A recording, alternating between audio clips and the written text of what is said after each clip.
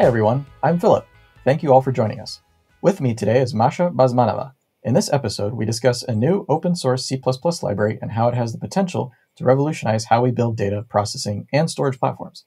Hello, Masha. Can you share a little bit about yourself and how you ended up working in big data and data processing engines? Hello, Philip. Uh, thank you for having me today. Uh, very excited to be here and talking to you about um, big data and Velox. I uh, joined the big data world a few years ago, uh, just kind of by chance. Uh, I was coming out of a maternity leave and I was looking for something new to start and work in. And I got introduced to David DeWitt. I ended up learning about uh, spatial joins, how to put them together, learning about Presto, learning how to make changes in Presto, and made my first contribution to the big big data uh, engines, which was a geospatial capabilities in Presto. They were consisting of like a package of geospatial functions after this first encounter with the big data, after like, you know, making this first contribution using the geospatial capabilities, I met another person, uh, Orri Erling, and he got me excited about making Presto run a lot faster than it was running at the time. In my mind and in, in the mind of people around me, Presto was a super fast, lightning fast engine. Everybody was super excited. Users loved using it. I personally thought it's awesome. And so here comes this person who says, you know, it's super slow. it can be three, four, five times faster. uh, there are lots of things that are done inefficiently. They can be done better. And so we launched a first project, our first efficiency project in a Presto called Project Aria, which was about making TableScan more efficient. In that journey, we were like thinking, okay, but what's next? We noticed that using Java to write efficient code was pretty difficult. We were hitting roadblocks everywhere we turned. And so we saw that if we wanted to make Presto much faster, if we wanted to eliminate the inefficiencies we were seeing, we probably had to switch to a different language. We probably had to switch to a native language like C++. And so when we decided that if we want to make Presto fast, we have to go to C++, we have to write it from scratch in this new language. We thought about, okay, how can we make that investment pay more than just making Presto faster? We also saw that new engines were emerging, which were competing with Presto on efficiency, on speed, and they were all written in C++. They were all native engine. They were taking like a subset of the workload, optimizing it, and showing that this workload can be executed many times faster than Presto could. But there was no single engine that would have all of those optimizations and features combined to allow for a wide range of workloads to run seamlessly, to run uniformly on a single platform. So we decided not to build a new engine, not to add to that family of already pretty large uh, engines, but rather build a library, a library which would serve as, as a core on which we could rebuild different engines which serve different workloads and do need to be slightly different, but they don't need to be different at the core. And so that's how we decided to build Velox.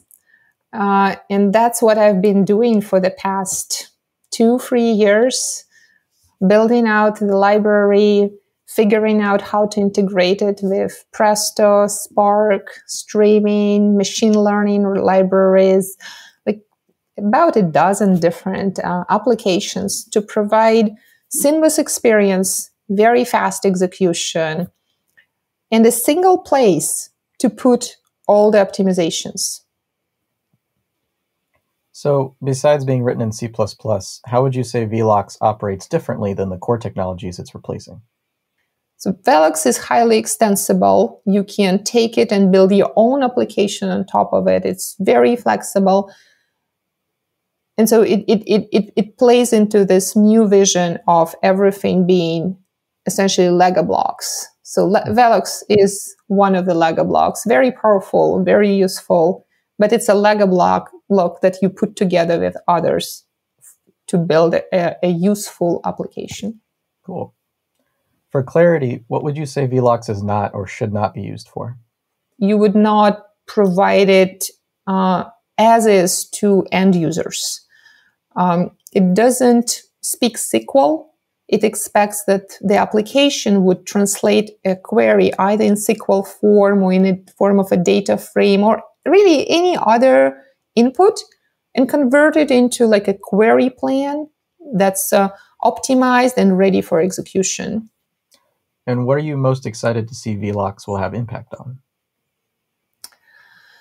So we're looking to um, integrate Velox with some of the most uh, uh, common and widely used engines like Presto, Spark, and Streaming.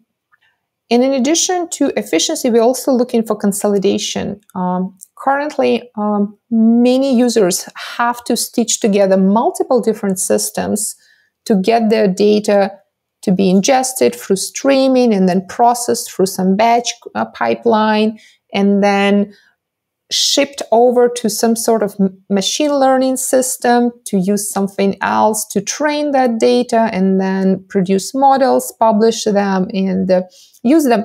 And all of those systems are similar, but very different.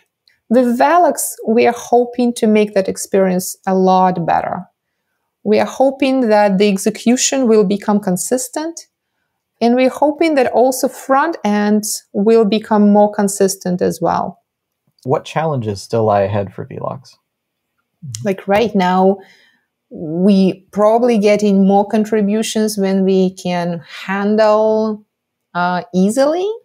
So we need to figure out how to grow more folks who have enough knowledge about the project so that they can help with reviews, help with onboarding new contributors, help do design reviews for new features or new ideas people want to bring into the project. So I see that as the, probably the biggest um, challenge for the next year or so. Can you tell me about the decision to collaborate externally through open source? We didn't even consider building it closed source. First, because we thought that there is no way we can build it ourselves. We thought that we definitely would need help from folks who may not necessarily be at Facebook or Meta.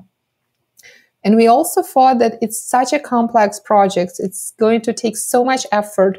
We really wanted to see this effort pay off by contributing to something as big as you know as possible. We didn't want it the project to be limited to kind of one company one use case. And so going open source was something that this is just how we build it from the get-go. And where should someone go to learn more about velox and get involved? Uh, we uh, we have a github repo and um, there is a, a landing page. There is a link to the documentation so I suggest everybody starts by reading the articles we have in the documentation just to get a feel for what the project is about, what kind of code there is, what kind of functionality exists. And once you get yourself familiar, then introduce yourself, uh, share about what you're doing, and we will we will engage. Well, thank you so much, Masha, for sharing your insights and your work with us. I'm excited to see the performance results as your team finalizes integrating Velox into our production systems. Thank you very much, Philip. It was uh, nice to have this conversation with you, and thank you for having me.